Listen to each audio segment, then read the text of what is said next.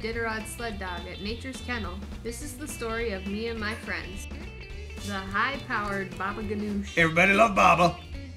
Swirl, the energetic yearling. I love you. Grim Reaper. Pirate, the scallywag. Arr! Big Ben, the veteran. I've been around since before text messaging. And man who puts food in my bowl.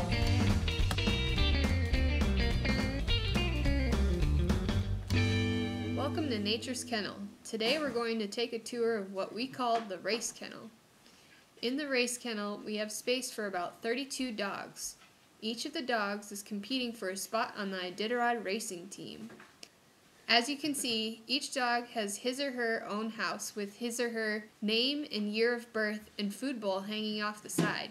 That line down the center is called the gang line. That's the line we get hooked up to when man who puts food in my bowl takes us for a run. The gang line is hooked up to the side by side, that big vehicle there. You'll notice a few empty houses at the end of the row.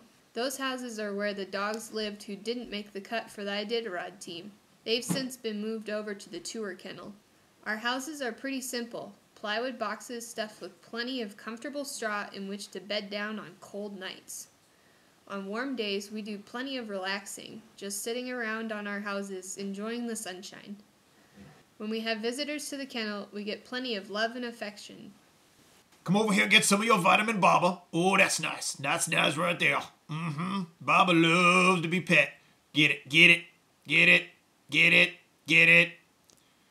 Ooh, and the neck too. Baba love that too. Mm-hmm. That's nice. I love people. Oh, I love shaking hands. I love to be pet. I shake. I love shake. I, oh, I love. No need to fight now. There's plenty of Baba to go around. Baba like the two hands on his butt. Ooh, ooh boy, that elbow looks delicious. Though some of us prefer to be alone. On cooler days, we love to run around. Oh, I love running. I love it. Circles. Oh, uh, hi, Rhu. I love you. I love it. I'm running. Baba love running too. He don't care forward, backward, doesn't matter to him. That's how Baba gets strong. Mhm, Run. Baba says run. We have to be on chains to prevent the kennel population from unexpectedly doubling.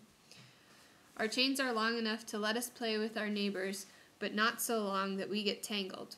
Some days, man who puts food in my bowl gives us health care like vaccinations. Oh, hi, man who puts food in my bowl. I love you.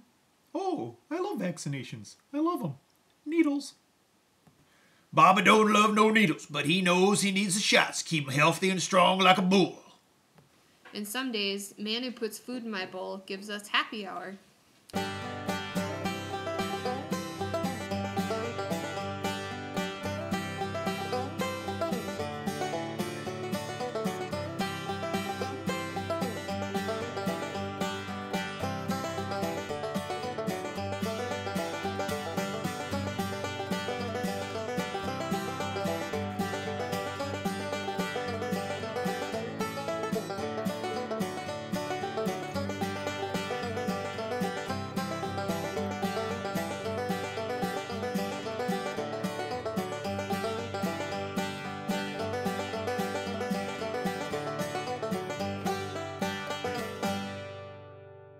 Next week, we'll head over to the tour kennel for a visit with Pirate and Big Ben. Yarr, I'll make you walk the plank, matey. Back in my day, the internet was dial up.